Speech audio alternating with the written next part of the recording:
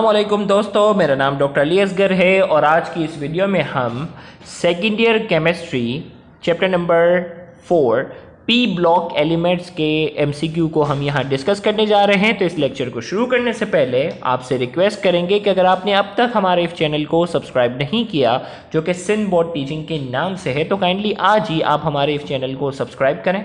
साथ ही साथ bell icon को लाजमी क्लिक करें, ताकि हमारी अपलोड करदा तमाम वीडियोज़ की नोटिफिकेशन आपको रिसीव हो सके। तो आइए हम स्टार्ट करते हैं आज के इस लेक्चर को, जिसमें हमारे पास सबसे पहले एमसीक्यू नंबर वन से हम शुरू करते हैं। याद याद रहे, वो स्टूडेंट जो रिकॉर्डेड फॉर्म में भी इस वीडियो को देखते, देख रहे हो, वो इस वीडियो में कमेंट में आप उसी तरीके से रिप्लाई दिया करें, जैसे आप लाइव सेशन में जो है वो रिप्लाई दिया करते हैं तो इससे आपकी प्रैक्टिस बहुत अच्छी होगी। तो पहला एमसीक्यू आपके सामने इस वक्त स्क्रीन पर है graphite use in the preparation of electrodes because graphite को जो है वो मुख्तलिफ़ चीज़ों की प्रिपरेशन में इस्तेमाल किया जाता है एज अ इलेक्ट्रोड के तौर पर क्यों ए में कहा जा रहा है it has S P two hybridization B में कहा जा रहा है it is a non metal C में कहा जा रहा है इट हैज़ हेक्सागोनल स्ट्रक्चर और डी में कहा जा रहा है it is good conductor of electricity तो चार ऑप्शन आपके सामने हैं और आपने एक ऑप्शन जो है इसमें से सेलेक्ट करना है कि ग्रेफाइट को इलेक्ट्रोड के तौर पर क्यों इस्तेमाल किया जाता है।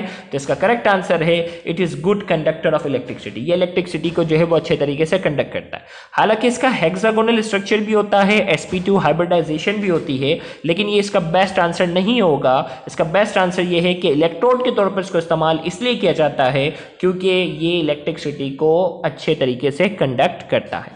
इसी तरीके से हमारे पास जो है वो अगला एमसीक्यू जो है, आपके सामने इस वक्त स्क्रीन पर है। नंबर टू हमने जो मार्क किया हुआ है which of the following shows only one oxidative state oxidation state चार हमारे सामने जो है वो ऑप्शन है क्लोरीन फ्लोरीन ब्रोमीन और आयोडीन हमसे कहा जा रहा है कि इनमें से, गौर से सुनिएगा, इनमें से कौन सा ऐसा एलिमेंट है जो जिसकी ऑक्सीडेशन स्टेट हमेशा एक ही होती है, उसमें कोई तब्दीली नहीं होती। तो इसका करेक्ट आंसर हमारे पास जो है वो फ्लोरीन है। याद रखिएगा फ्लोरीन की ऑक्सीडेशन स्टेट जो होती है, वो हमेशा माइनस वन होती है, उसमें कोई तब्दीली नहीं आती। जबकि मुख्तलिफ़, गौर से सुनिएगा, मुख्तलिफ़ एलिमेंट के साथ, मुख्तलिफ़ एटम के साथ कंबाइन होने के नतीजे में इन तीनों की ऑक्सीडेशन स्टेट पर तब्दीली आती है। कभी ये पॉजिटिव भी हो सकते हैं, ज़्यादातर ये नेगेटिव होते हैं, लेकिन फ्लोरीन की इलेक्ट्रोनेगेटिविटी सबसे ज़्यादा हो होने की वजह से। इसकी इलेक्ट्रोनेगेटिविटी फोर होती है फ्लोरीन की। पूरे पीरियोडिक टेबल में सबसे ज़्यादा इलेक्ट्रोनेगेटिविटी फ्लोरीन की होती है। इस वजह से इसकी ऑक्सीडेशन स्टेट हमेशा एक ही होती है और वो नेगेटिव होती है। तो नंबर टू का जो करेक्ट आंसर हमारे पास जो है वो बी है। नंबर थ्री की अगर हम बात करते हैं नंबर थ्री में कहा जा रहा है graphite crystal is soft graphite का जो क्रिस्टल होता है, वो सॉफ्ट होता है क्यों? ए में कहा जा रहा है because graphite is non metal B में कहा जा रहा है because graphite is a metal C में कहा जा रहा है ड्यू टू इट्स हाइब्रिडाइजेशन और डी में कहा जा रहा है because graphite is P block element हमें कहा जा रहा है कि ग्रेफाइट का जो क्रिस्टल है ग्रेफाइट का जो क्रिस्टल है वो क्या होता है? सॉफ्ट होता है. क्यों? ए में कहा जा रहा है क्योंकि ग्रेफाइट जो है वो नॉन मेटल है. बी में कहा जा रहा है ग्रेफाइट मेटल है. और सी में कहा जा रहा है ड्यू टू इट्स हाइब्रिडाइजेशन और डी में कहा जा रहा है because graphite is P block element तो हमारे पास इस एमसीक्यू को उम्मीद है आप एक ऑप्शन सेलेक्ट कर चुके होंगे तो इसका करेक्ट आंसर जो है ड्यू टू इट्स हाइब्रिडाइजेशन इसकी जो हाइब्रिडाइजेशन जो होती है, वो sp2 होती है और sp2 हाइब्रिडाइजेशन के साथ वो हेक्सागोनल स्ट्रक्चर की शक्ल में होते हैं और वो लेयर्स की शक्ल में होते हैं. और हर लेयर्स के दरमियान जो होता है, वो डिस्टेंस भी होता है स्पेसिफिक जिस वजह से ग्रेफाइट जो होता है वो सॉफ्ट होता है. इसी तरीके से नंबर फोर की अगर हम बात करते हैं ammonia may be made by treating of ammonium chloride with हमने कहा कि अमोनिया हम बनाना चाह रहे हैं। May be made by treating of ammonium chloride with ammonium chloride को हम किसके साथ रिएक्ट करवाएँ कि अमोनिया बने।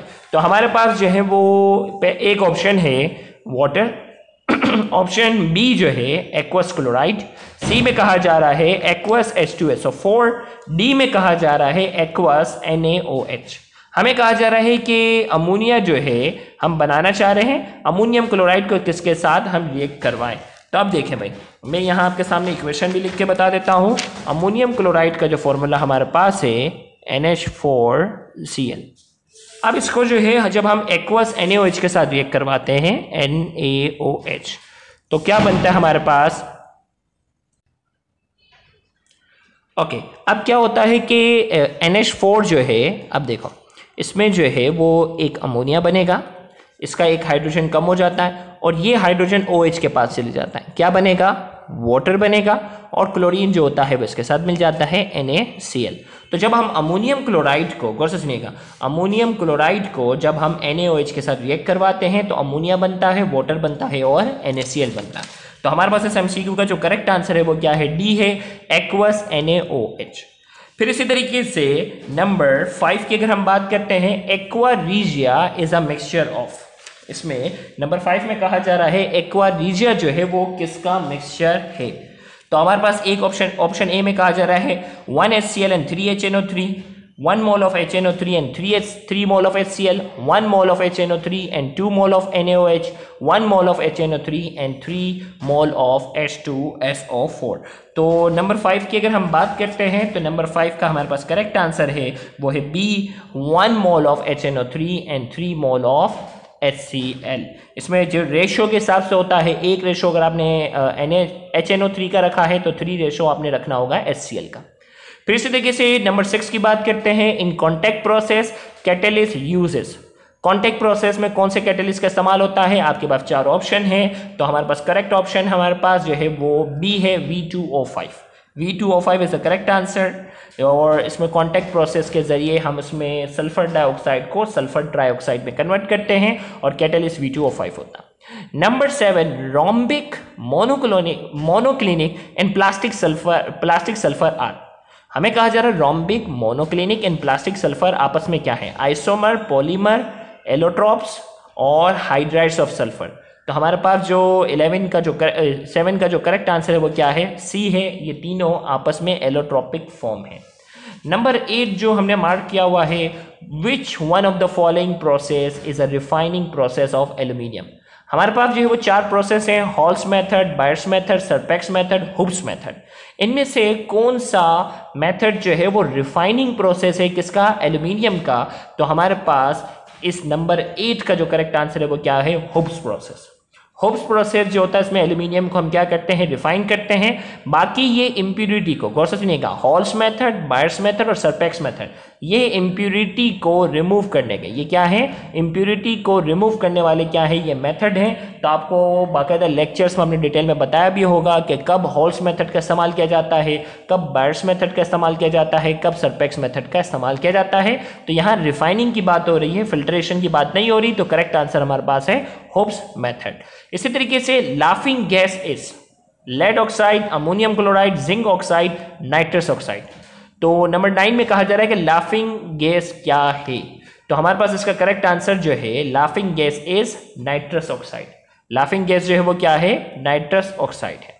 इसी तरीके से नंबर टेन uh, की बात करते हैं. All of the following contain aluminium except चार ऑप्शन दिए गए और उसमें कहा जा रहा है कि सबके पाप जो है वो एल्यूमिनियम है सिवाय एक के। ए में कहा जा रहा है क्रायोलाइट बी में कहा जा रहा है पोटेशमिका सी में कहा जा रहा है ड्यूराल्यूमिन डी में कहा जा रहा है पोटैश अलम तो हमारे पास इसका जो, देखें भाई, ये जो है ना, हमारे पास जो टेन की हम बात करने जा रहे हैं ऑप्शन ए, सी और डी। ये जो हमारे पास है, इसकी क्या है? और है। ये क्या है? हमारे टेक्स्ट बुक में लिखे हुए हैं।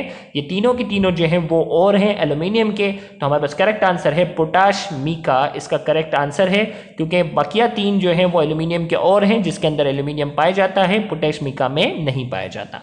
नंबर इलेवन की अगर हम बात करते हैं तो नंबर इलेवन में okay sorry number eleven okay number eleven की हम बात करने जा रहे हैं। Colourless gas with a smell of that of rotten egg एक ऐसी गैस है इन चारों में से जो कलरलेस है और इसकी स्मेल जो होती है ना सरे हुए अंडों की तरह होती है। ए में कहा जा रहा है कार्बन डाइऑक्साइड बी में कहा जा रहा है नाइट्रोजन सी में कहा जा रहा है सल्फ़र डाइऑक्साइड और डी में कहा जा रहा है हाइड्रोजन सल्फाइड तो हमारे पास इसका जो करेक्ट आंसर है वो क्या है? डी हाइड्रोजन सल्फाइड इसी तरीके से number twelve diamond is an insulator because diamond जो है वो इंसुलेटर है क्यों? ए में कहा जा रहा है, it is crystalline it contain few electrons C में कहा जा रहा है it electron are delocalise D में कहा जा रहा है it has four covalent bond हमें कहा जा रहा है डायमंड जो है वो इंसुलेटर होता है। क्यों? तो इसका करेक्ट आंसर है it has four covalent bond इसके चारों के चारों आउटर मोस्ट शेल के इलेक्ट्रॉन जो होते हैं, उन्होंने बॉन्ड बनाया होता है। कोई फ्री इलेक्ट्रॉन नहीं होता ग्रेफाइट की तरह। इसीलिए डायमंड जो होता है वो इंसुलेटर होता है बैट कंडक्टर होता है हीट और इलेक्ट्रिसिटी का। इसी तरीके से एमसीक्यू नंबर हम थर्टीन की बात करते हैं तो MCQ number thirteen the aqueous solution of borax the aqueous solution of borax in the presence of S two S O four इस हमें कहा जा रहा है बोरेक्स का जो एक्वस सोल्यूशन है H2SO4 की मौजूदगी में कैसा होता है? चार ऑप्शन हमारे सामने हैं। ऑप्शन ए में कहा जा रहा है न्यूट्रल बी में कहा जा रहा है एसिडिक सी में कहा जा रहा है बेसिक और डी में कहा जा रहा है एम्फोटेरिक तो इसका करेक्ट आंसर हमारे पास जो है H2SO4 की मौजूदगी में सोल्यूशन कैसा होगा? एसिडिक तो नंबर थर्टीन का करेक्ट आंसर है, वो बी है। Number fourteen which one of the gas dissolve in H2SO4 to give oleum वो कौन सी गैस है जो सल्फ्रिक एसिड में डिजोल्व हो जाएगी और क्या प्रोड्यूस करेगी? ओलियम जो है वो प्रोड्यूस करेगी। ऑप्शन हमारे पास है ए में कहा जा रहा है सल्फ़र डाइऑक्साइड बी में कहा जा रहा है हाइड्रोजन सल्फाइड सी में कहा जा रहा है सल्फ़र एस टू ओ और डी में कहा जा रहा है सल्फ़र ट्राईऑक्साइड तो हमारे पास इसका जो करेक्ट आंसर है, वो डी है सल्फ़र ट्राईऑक्साइड इसको जब हम डिसॉल्व करते हैं H2SO4 में तो क्या मिलता है हमें? ओलियम मिलता है। नंबर फिफ्टीन जो है, वैसे तो अगर देखा जाए कि ये तो टेक्स्ट बुक में लिखा हुआ नहीं है, लेकिन एक जनरल नॉलेज के तौर पर टीयर गैस जो होती है ना, आँसू गैस जिसे हम कहते हैं टीयर गैस का फॉर्मूला हमसे पूछा जा रहा है तो आप जनरल नॉलेज के तौर पर याद रख लो C C C C L three two ये हमारे पास जो है वो टीयर गैस का फॉर्मूला है। तो यहाँ जाकर हमारा जो है, ये लेक्चर वन में हमने 15 एमसीक्यू डिस्कस किए हैं। लेक्चर टू में हम एमसीक्यू नंबर 16 से जो है वो कंटिन्यू करेंगे तो उसे भी देखना मत भूलिएगा। तो अगर आपको हमारा आज का ये लेक्चर समझ में आया है, पसंद आया है तो वीडियो को लाजमी लाइक करें। कमेंट में अपना फीडबैक लाजमी दें और इस वीडियो को ज़्यादा से ज़्यादा शेयर करके अपना हक ज़रूर अदा करें। याद रहे, बहुत से ऐसे स्टूडेंट हैं जो गवर्नमेंट कॉलेजेस के बाद एक्सपेंसिव कोचिंग सेंटर्स को अफोर्ड करने की सलाहियत नहीं रखते। तो आपका इन वीडियोज़ को ज़्यादा से ज़्यादा शेयर करना, उन तक पहुँचाना आपके लिए सदका जारी हो सकता है। Thank you very much. Allah